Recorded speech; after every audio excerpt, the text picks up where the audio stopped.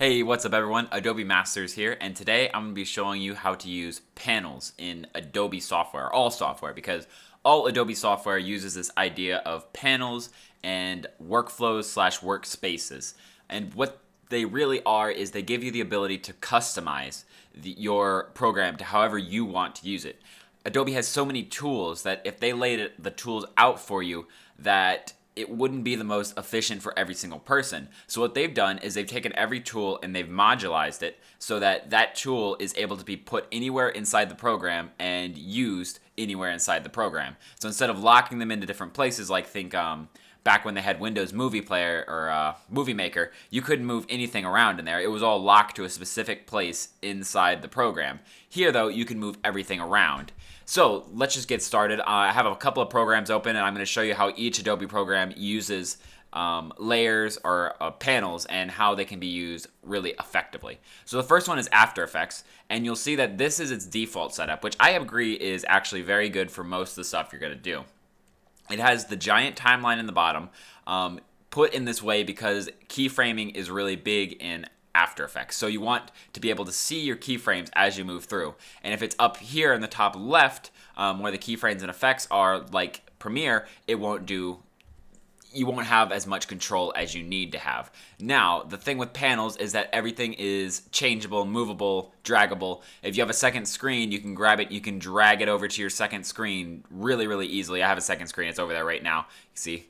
Um, but and then it takes it off the bottom, so you maybe you could have the picture over here and edit the timeline over here. I've seen a lot of people do that, especially with like um, a vertical screen that has a really tall up and down to it, they can work with, you know, look at 60, 70 layers at the exact same time. We can drag it right here back. Um, yeah, uh, put it here. So now this one has kind of priority. It has a bigger area to the left. I mean, we have all the panels over here. Effects and presets is a very important one to have open. Um, whenever you first load it, it's going to start to load because it has to load them all in. But I always have that panel open, and I'll even have that panel sometimes, like I was said earlier, over on the right screen because to have them all visually there really helps me out. Or I'll put it on the bottom like this so I can see them all. And so yeah, panels, they can be moved, they can be dragged, they can be made larger, they can be made smaller. You can change it to however you want. And the cool thing about them is that you can save them into a workspace. So right here, save changes of the workspace or save as a new workspace. So you could save this exact setup right here as a new workspace. And now every time you want to go back, you could just click on it. So for example, um, Essentials is what comes with it. And so if I just click Reset to Saved Layout, it goes back to what it was at the starting, what Adobe thought that it should be.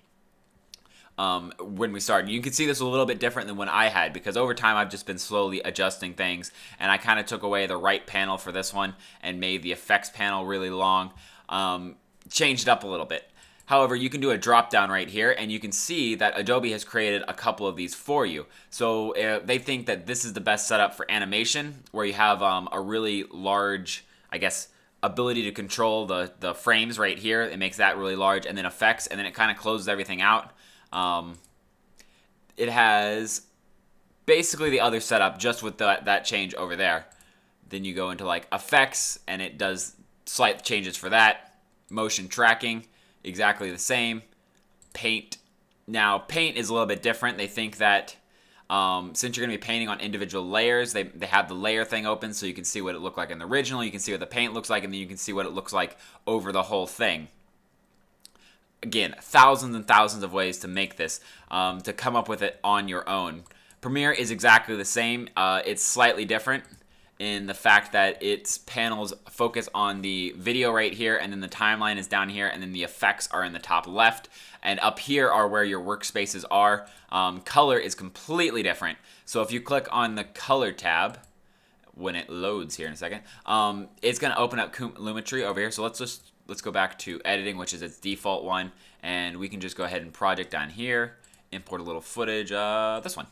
Click open, and so now we have some footage in here. If we drag that on the timeline, it'll create ourselves a new sequence. And then we go into color, you'll see that it brings up the whole color panel up here, and then you have the footage here. The timeline moves from over here to slightly into here. Your sources are down here, but what it's actually focusing on is the colors because now you're in color.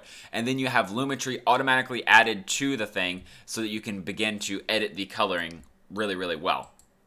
Effects it'll change it around give you a priority on the effects up here so you can really see the keyframes when you're doing effects. Audio brings up the levels um, makes the timeline really big so you can see the time the uh, audio down here. And yeah so all these i mean you can click all panels and it'll just open up every single panel in here. Um, as you can see it they're all loading up and then being put into the side. But yeah so that's really important for the panels. Uh, really awesome way to customize it yourself. Um, so yeah, that's Premiere. And then finally, I wanted to show you. So this is Illustrator, and this is my custom panel. I call graphic design. Um, graphic design, at least the graphic design I like to do, I like to use a lot of gradients. I like to use a lot of, um, I guess you can say like uh, layer styles. So I like to maybe cut an object in half and then darken it or burn it and then screen it or lighten it.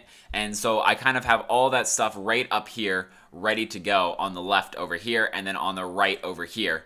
Um, right here I can just switch it around. So when I'm editing in the middle, everything is opened up so that I can just click, click, move, click, move, click, move. You know, I don't, not, I'm not looking through things to find what I need. And to do graphic design, all I need are these right here. So I save that as a personal layout, and now every time I need that layout, um, I can start in Essentials and do normal stuff, but every time I need to do graphic design, I just click on that. It opens up this panel right over here. It rearranges all these panels, and I am good to go. I can just get right into the work instead of having to rearrange the panels every time.